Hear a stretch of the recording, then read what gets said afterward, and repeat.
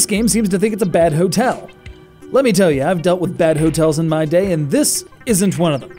Sure, there might be mephitic clouds trying to blow it down, birds with missiles attempting to remodel your room the hard way, and snakes with bombs strapped to their heads.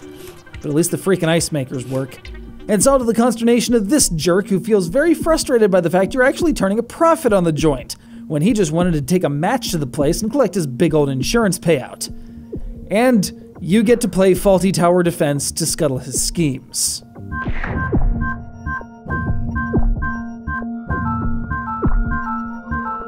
The goal is simple protect the core of your hotel from wave after wave of animals, atmospheric phenomena, and the occasional giant enemy crab.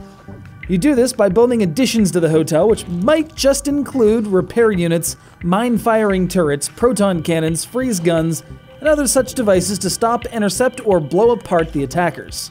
However, these things cost money, and bomb toting snakes don't really have that much in the way of pocket change on their persons. So, in order to drum up the scratch for new and better weapon systems, you need to install room blocks, which generate revenue at fairly quick intervals and act as blast shielding for your more crucial functions. And for whatever reason, they sound really good doing it too.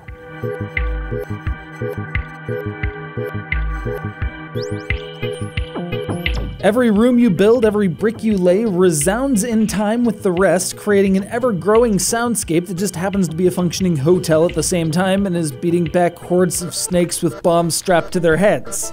That's a sentence never before created in the history of human existence, and I'm proud to apply it here. Bad Hotel isn't just a competent strategy game, it's also some strange hybrid of Electroplankton and Sim Tower. This is the Rez of tower defense, with a pleasant combination of chimes, bleeps, creeps, and sweeps that you yourself crafted even if you had no idea how the heck you just did it, and anyway, you were too busy trying to deal with that giant unholy cumulus up there to even pay attention. The net effect is that the procedurally generated soundtrack ends up pleasing no matter what you do, where you put things, or how you decide to go about defending your hotel.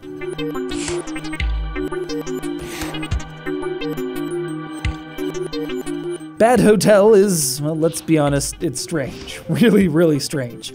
A cleanly drawn Art Deco mishmash of ideas dotting a pleasant soundscape.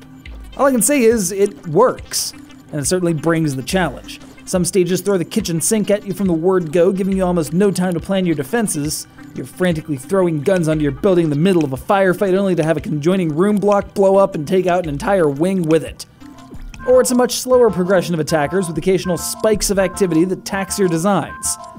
It's a clever little game, and the next time I find myself holed up in some sleazebag hotel with rats scurrying off with my toothpaste, I'll take comfort in the fact that at least, at least, there aren't snakes with bombs tied to their heads.